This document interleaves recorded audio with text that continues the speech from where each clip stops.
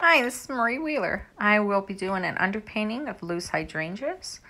Um, one of the items I want to show you that I use is a golden glazing liquid. I use it a lot in my colors. It extends the drying time and it also makes it more transparent.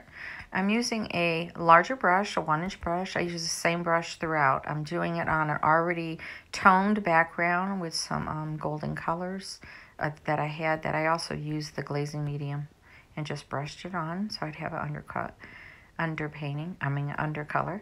I'm using my brush to just lightly uh, draw in or shape in my hydrangeas. This isn't a big design because it's just a small little piece. Um, I'm using the brush to lightly just go back and forth and, and um, using transparent colors. I use ultramarine blue and elixir mixed in with the glazing medium. If you put the um, transparent color down first, it's a lot easier to put it opaque on top because the opaque can, um, it's cover the elixir and give, uh, not elixir, the transparent colors and give it more um, dimension. So I'm just, I picked up some cerulean blue and mixed it in with some yellow, making some green. And um, I keep using that glazing medium. It and the colors I used were um, transparent colors. Cerulean blue is a transparent color. I'm putting shapes in of the flowers. I'm not particular caring, excuse me, not caring of, you know, what the shape looks like. I've taken a gray, it's a number five neutral gray by Golden. Sometimes I mix my own, but it comes out of the tube too. I use it. Um, I'm doing the shape of the vase. I don't care if it goes over the flower right now. It's just a shape. And I did use the, um, I keep picking up that glazing medium.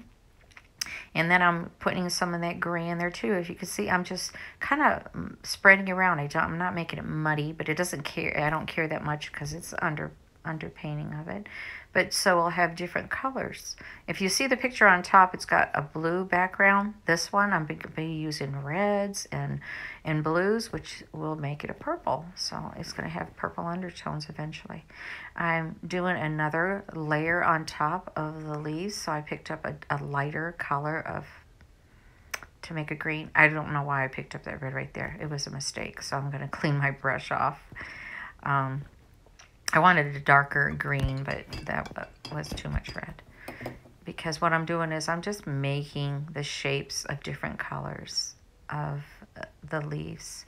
Same brush, I'm using it lightly, like I said, and I'm going back and forth in movements. I don't, it's nothing is particular looks like a leaf.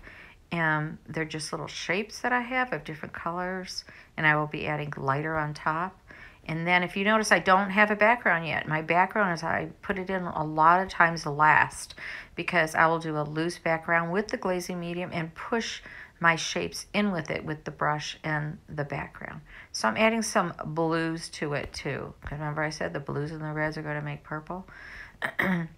so it's giving it a shape. It's putting some dark undertones around it.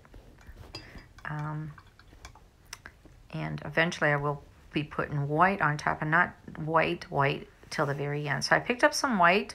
I'm using the glazing medium and I'm adding a little bit blue. So this is, like I said, just underpainting of the loose hydrangeas. I did paint the whole thing. I thought it was being filled and it cut off. So I almost deleted this, but I decided, you know what, I'm just going to show, um, it's okay. I'm just going to show you how I do the beginning of it. And you'll see at the, you can see at the beginning of this uh, film, beginning of this video, excuse me, that um, the completed piece with me doing the background and adding the whites on it. So I, like I said, keep picking up. You can actually take that glazing medium and take a palette knife and mix it, but I just do it along the way. The last top coat that I'll put on, I don't use the glazing medium. I keep it thick. I use the color just like it is, you know, mixed together without being um, transparent or um, with the uh, gel, the glazing medium. So see there's starting to be shapes. It's really a dark color. This is the ugly stage. I mixed more of a green with a yellow in it. And I will also use cerulean blue and have some touches of blue in it. Um, that it still doesn't look very well. I'll probably put some in the center of it.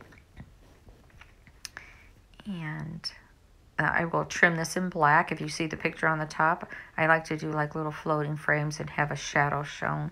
So I will trim in black and in gold at the very end.